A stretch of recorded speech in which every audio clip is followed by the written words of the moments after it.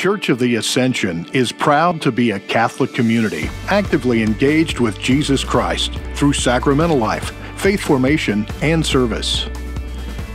With over 100 ministries to carry out our mission, it can be overwhelming to figure out where you fit in.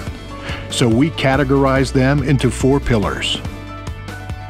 This weekend, we want to celebrate the ministries of Christ the Shepherd, which is made up of parish life community groups.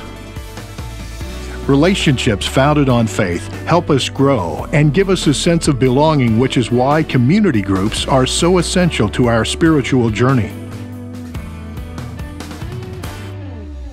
They transform our large parish from a Sunday Mass destination to an intimate family where you can form healthy relationships that help you feel at home with brothers and sisters who share common values, lift each other up, and are there for one another during those challenging seasons of life. Whatever your stage of life or area of interest, there's a group where you can contribute and develop lasting friendships. What are you waiting for? Get out of the pew and into a community group.